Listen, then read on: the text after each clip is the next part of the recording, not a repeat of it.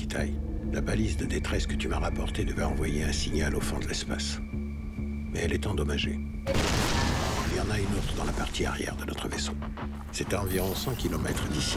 Tu dois récupérer cette balise. Ou nous allons mourir?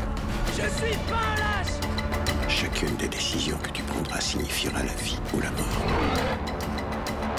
Tu sais où on est? C'est la Terre.